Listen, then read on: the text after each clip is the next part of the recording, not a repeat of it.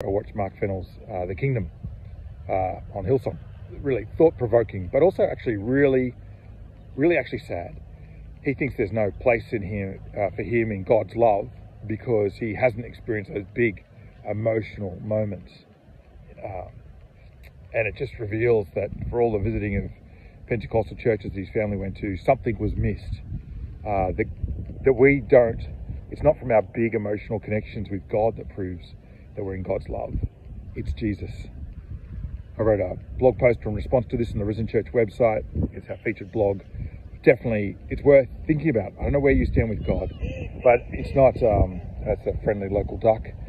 it's not by our big emotional, spiritual moment of feeling with God, but it's God's love expressed to us in Jesus. Check it out in my Risen blog.